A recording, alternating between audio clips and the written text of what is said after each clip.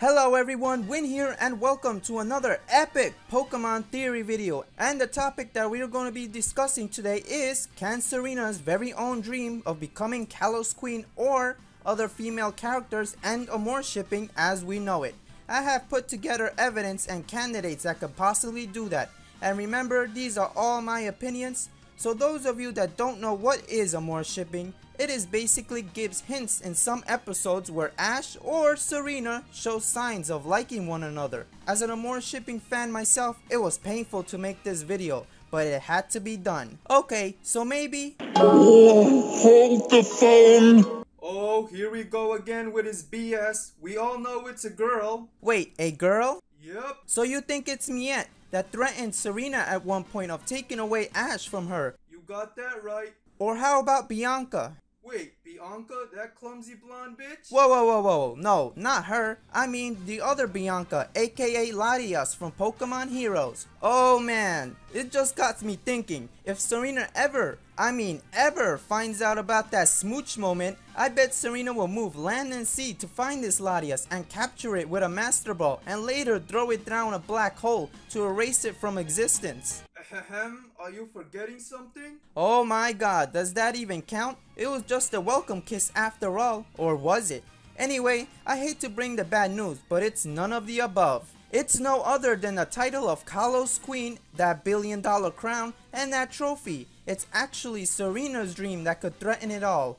Why you ask? If Serena ever wins, then she will need to stay in Kalos and defend her title. Ash on the other hand will likely leave Kalos and go in search of a new region. I know it's going to be tough for Serena to decide if she will stay to defend her title or give up her title that she worked so hard for. Serena, choose wisely. But what if Serena does not win the title of Kalos Queen? What then? Don't worry, there's one more that could finish up the job. If Serena doesn't win, I believe at this time this woman named Pawmi will see Serena has full potential despite her possible loss in the finals of the Masterclass.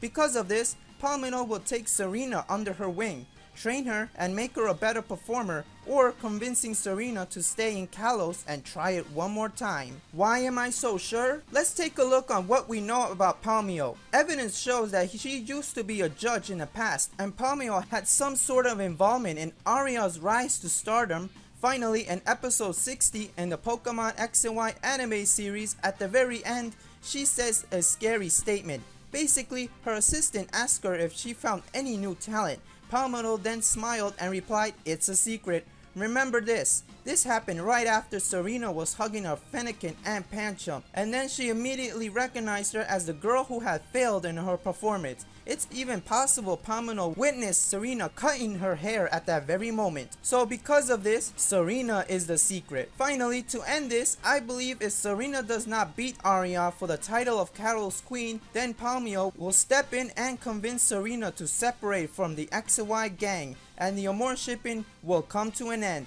Either way you look at it, there will always be a killer of this amazing shipping in my opinion. So for us fans, let's enjoy every minute of it. And with Miette's return, we don't know what she's going to do next. Pokemon performer? Oh, hell no!